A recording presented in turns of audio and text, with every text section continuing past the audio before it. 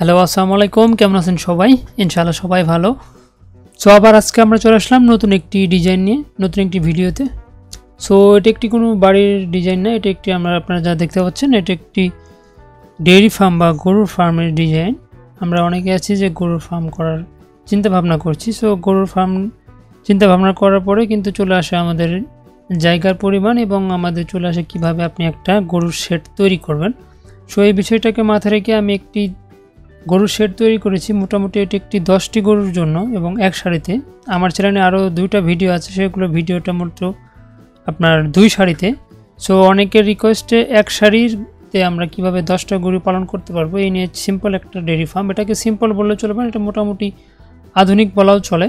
So আমরা এই ফার্মের কথা বলব আমাদের ফ্লো প্ল্যান এবং আরও জানব কী পরিমাণ এখানে আমরা জমি ইউজ করছি এই ফার্মের জন্য এবং আরও জানব আপনার জমি আপনি নিজে কীভাবে পরিমাপ করতে পারবেন?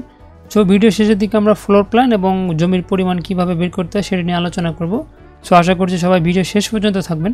সো আর বেশি কথা বলব না, চলে যাব আমাদের মূল ভিডিওতে সো মূল ভিডিওতে যাওয়ার একটি কথা বলব, যদি আপনি আমার চ্যানেল নতুন হয়ে থাকেন চ্যানেলটাকে সাবস্ক্রাইব করে নেবেন। আপনার একটা সাবস্ক্রাইব করে আমাকে উৎসাহিত করতে, আমাকে আরও সাপোর্ট করতে।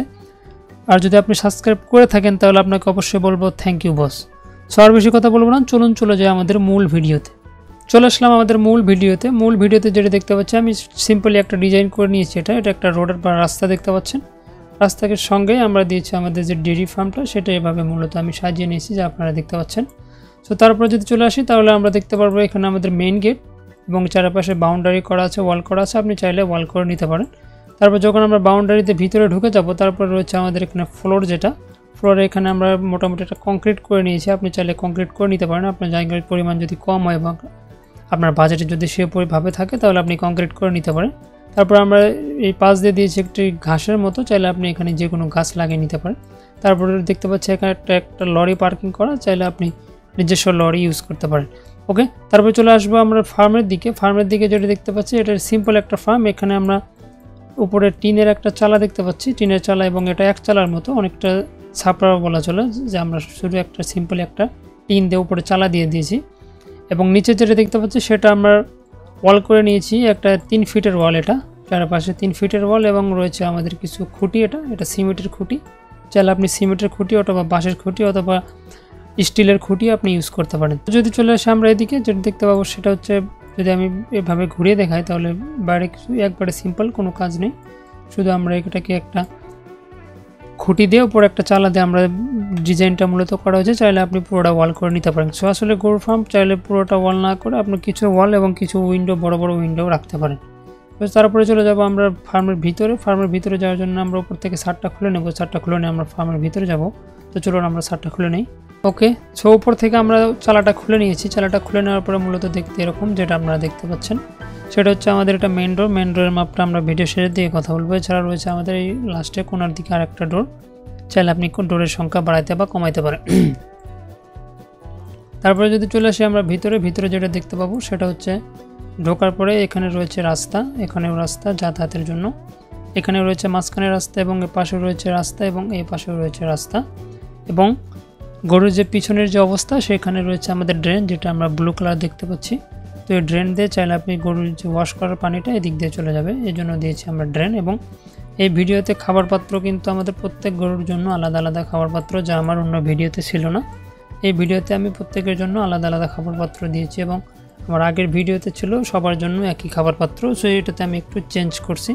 এবং এছাড়াও আপনারা দেখতে পাচ্ছেন এই প্রত্যেক খাবার পাত্রের সঙ্গে আমি কিন্তু একটা করে পানির ট্যাপ দিয়ে দিয়েছি। চাইলে আপনি এভাবে করে নিতে পারেন, যেটা আপনি দেখতে পাচ্ছেন এখানে একটা পানির ট্যাপ এখানে। চাইলে আপনি এভাবে করে নিতে পারেন। এছাড়াও, যেটা আমরা দেখতে পাচ্ছি, পিছনে কিন্তু বেশ ভালো জায়গায় রয়েছে।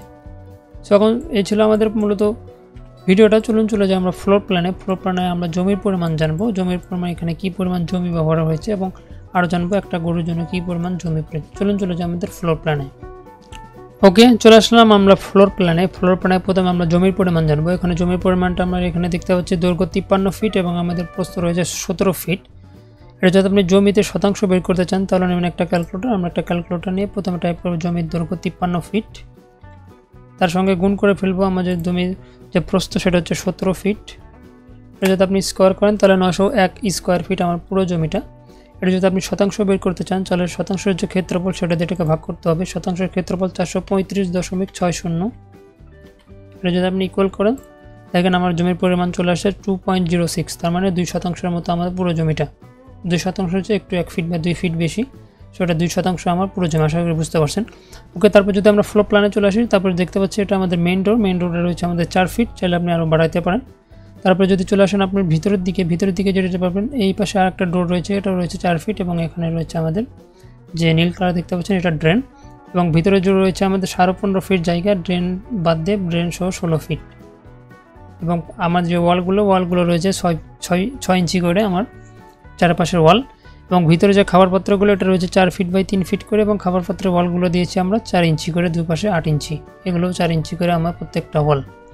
এছাড়াও বাইরে থেকে বাইরে যে খাবার পাত্র এটা রয়েছে আমার আট তিন ফিট আট ইঞ্চ তিন ইঞ্চ তিন ফিট আট ইঞ্চি ইয়েস এবং মাঝখানে দরজাও রয়েছে আমার তিন ইঞ্চি এবং প্রত্যেকটা গরুর জন্য যেটা আমরা দেখতে পাচ্ছি খাবার পাত্রের কোণা থেকে মোটামুটি আমার ওই কোণা পর্যন্ত আপনার ছয় ইঞ্চি যে ড্রেনটা রয়েছে, ওটা সহ আমার এখানে রয়েছে নয় ফিট।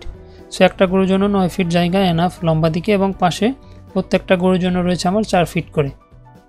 চার ফিট করে একটা গরুর জন্য চার ফিট বাই নয় ফিট জায়গা এবং এ পাশে দুই দুই ফিট জায়গা অতিরিক্ত রয়েছে আমার রাস্তার জন্য। চাইলে আপনি যদি এটা টাচ করে দেন, তাহলে দুই ফিট জায়গা আপনার কম লাগবে দুই পাশ থেকে চার, দুই ফিট দুই ফিট চার ফিট এবং এখানে রয়েছে আমার যে রাস্তাটা, এটা রয়েছে প্রায় আমার, দাঁড়ান একটু দেখি।